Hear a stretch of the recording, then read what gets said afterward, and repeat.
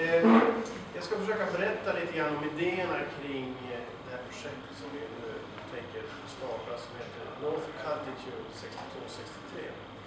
Och vad idéerna, mina idéer kom ifrån, hur jag kom in i det här och när jag träffade Ilsvika och nu har vi liksom gjort det här tillsammans och nu kommer det här projektet att expandera och bli väldigt, väldigt mycket mer spännande än vad jag hade som tanke första steget för nu är vi många fler i det här.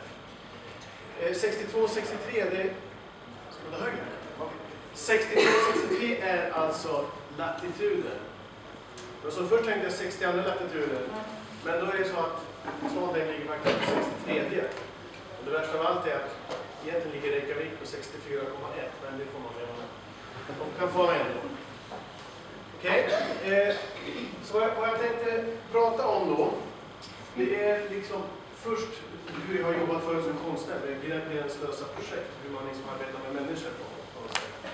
Och sen tänkte jag berätta om de digitala metoderna, överföringsgrejerna man kan använda inom konst och kultur som vi håller på att experimentera väldigt mycket med i, i Sverige. Och så kreativa näringar, och där kommer jag bara prata lite kort om, för det är Joppes avdelning. Joppe som kommer sen, han är alltså Sverige, han sitter i Sveriges organisation för kreativa näringar i hela Sverige som generator. Och det vi försöker jobba med att stimulera kreativa näringar på olika sätt. Men, nu ska vi se.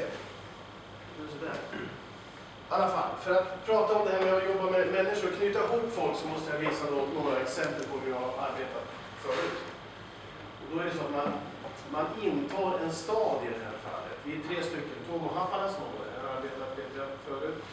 Eh, Ann-Katrin Fröjde, skådespelare, Tom är musiker, jag är konstnär. Vi kommer till en stad, vi får åtta månader på oss att skapa en föreställning. Vi tar kontakt med alla människor som finns, som kan vara intresserade, mycket föreningar, klättrare, radiokommunikatörer, traktorförare, dykare, eh, piloter, ja, whatever. Och sen skapar vi någon typ av föreställning. Det här är ett exempel på en sån föreställning. Den här föreställningen är 16 000 åskådare som står här mitt i Norrköping. Uppe på nocken här så står det en kille som spelar trombon från symfoniorkestern och hans fru står på andra sidan och hissar ner och sjunger en opera i ton. Så hissar de ner Eh, 25 meter hål genom tornet. Så det är liksom, förutsättningarna ser ut så här. Så det här är vad som händer. 15 000 åskådare, ungefär 1200 personer lyckas vi engagera i staden som faktiskt stod på scenen och eh, gjorde någonting.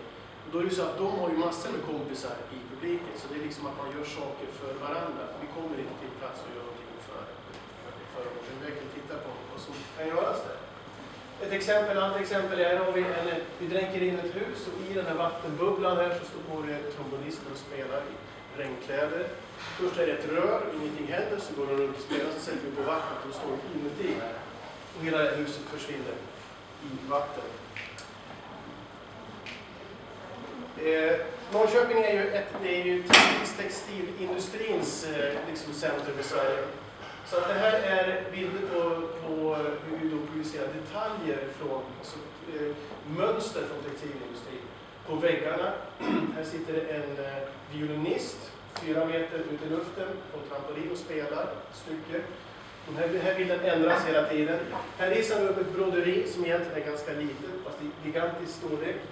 Dykarklubben håller den här här nere. På golvet i fönstret här ligger brottarklubben och drar upp det här, för det är ganska tungt. Och i fönstret så står en tjej och eh, koreograferar och broderar. Sen kommer det en vävstol förbi Rouge här som slår takten till den här musiken och så ändras bilderna hela tiden. Så så bygger man bygger vi liksom upp olika scener. Där ser vi talen när hon sitter, men nu sitter hon i en stor duk där på ehm. Ja, vi tittar med höger. I Norrköping till exempel så cyklade alla till fabrikerna och så. Så då tänkte vi, då gör vi en kör på 450 cyklister som kommer ner mot publiken här. Kastar upp sina cyklar här. Tomo har stämt ekrarna på de här så vi kan spela på dem. Eller ja, på något vis. Vi nickar upp dem. Den här statyn vänder sig mot publiken och det är Moa Martinsson. Hon läser en, en dikt. Och musiken blir mer och mer intensiv och så flyger hon upp i luften och försvinner. Och en annan sak vi har jobbat mycket med är vattenfilmdukar, där vi projicerar på vatten. Det är en stor film som faktiskt är eh, torget. Och eh, eh, väldigt intressant sätt. Det här är absolut digitalt, det är extremt analogt. Så för er